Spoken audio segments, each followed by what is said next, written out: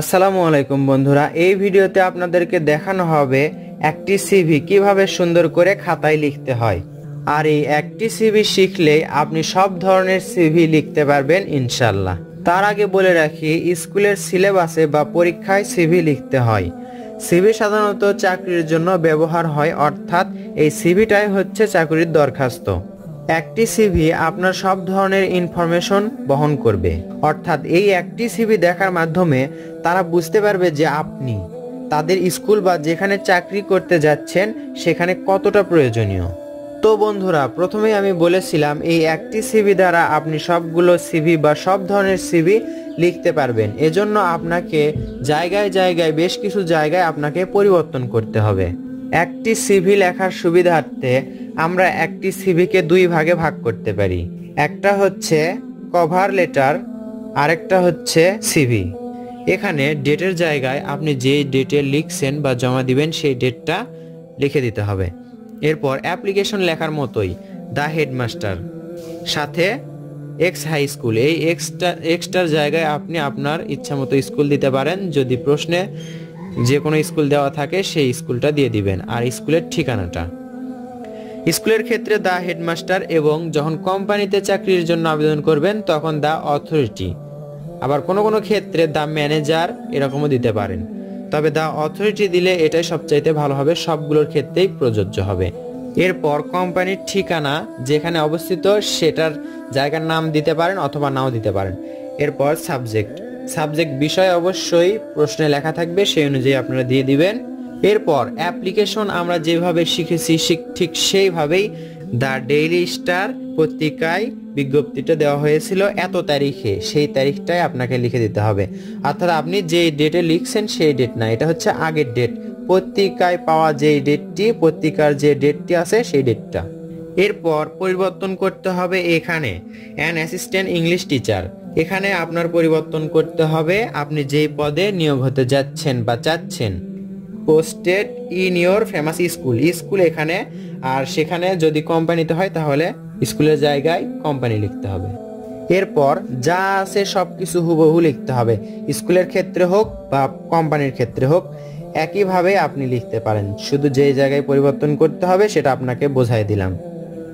বন্ধুরা কভার পেজটা এখানেই শেষ হলো। কভার লেটারটা এখানেই শেষ হলো।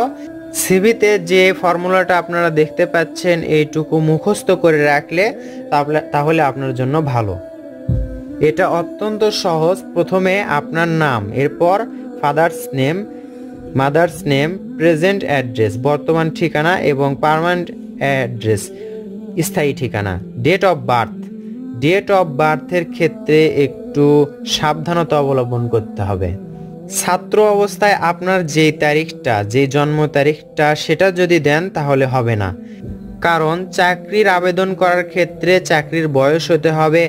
একজন শিক্ষার্থী দুই হাজার বিশ সালে মাস্টার্স বা এম এ পাশ করলে তার বয়স কীরকম হয়, ঠিক সেরকম বয়স দেওয়া উচিত। এরপর ন্যাশনালিটি জাতীয়তা, Bangladeshi, Islam marital status single contact নাম্বারটা দিতে পারেন। এর সাথে আর একটা আপনি লাইন যোগ করতে পারেন। আমি ভুলে গেছি, সেটা অবশ্যই দেওয়ার চেষ্টা করবেন। ন্যাশনাল আইডি এগারো নাম্বার লিখবেন ন্যাশনাল আইডি এরপর বারো নাম্বারে লিখবেন educational qualification name of exam এক্সামের নাম। এরপর ইয়ার জিপিএ কোন পরীক্ষায় কি পেয়েছেন? বোর্ড এখানে বারো নম্বরে আছে এক্সপিরিয়েন্সের কথা, অর্থাৎ আপনার কোন অভিজ্ঞতাটা আছে। যদি দেখবেন কোনো জায়গায় চাকরি নেওয়ার ক্ষেত্রে আপনার যদি অন্য কোথাও কাজের অভিজ্ঞতা থাকে, কোম্পানির চাকরির ক্ষেত্রে অন্য কোথাও যদি কাজের অভিজ্ঞতা থাকে, তখন আপনাকে বেশি মূল্যায়ন করা হবে। এখানে স্কুলের ক্ষেত্রে লিখে দেখানো হচ্ছে, এজন্য teacher in Y high school. আমরা প্রথমে লিখেছিলাম, এটা কিন্তু এক্স হাই স্কুলে আবেদন করছি। আর এখানে লিখছি, ওয়াই হাই স্কুল। অর্থাৎ অন্য স্কুলে আমার অভিজ্ঞতা ছিল। এরপর তেরো নম্বরে দেখতে পাচ্ছেন রেফারেন্স রেফারেন্সে আপনি কার নাম দিবেন? রেফারেন্সে এমন নাম দেওয়া ভালো, আপনি যে স্কুলে চাকরি করতে যাচ্ছেন বা যে স্কুলে চাকরির আবেদন করছেন, সেই স্কুলের একজন সিনিয়র শিক্ষকের নাম। এখানে দেখতে পাচ্ছেন, আমি দিলাম MD Nahid Hasan senior teacher X high school X high স্কুলটা কোনটা? যে স্কুলে আমি আবেদন করছি। এক্স হাই স্কুল ওই স্কুলেরই যদি আপনি সিনিয়র শিক্ষকের রেফারেন্সে যান, তাহলে তা, তাহলে আপনার একটা সাপোর্ট থাকবে। এরপর শেষে চোদ্দ নম্বরে ডেট অ্যান্ড সিগনেচার আপনার সিগনেচারটা যদি ডেটের সাথে থাকে, তাহলে সেটা ভালো হবে। এভাবেই একটি সিভি আপনি সুন্দর করে লিখতে পারেন। বন্ধুরা, আরেকটি কথা সেটা হচ্ছে, অনেকেই বলে থাকে যে একটি সিভি আমরা কয় পৃষ্ঠার মধ্যে শেষ করব। একটি সিভি লিখতে যে দুই পৃষ্ঠার মধ্যেই লিখতে হবে এমন কোনো কথা নাই।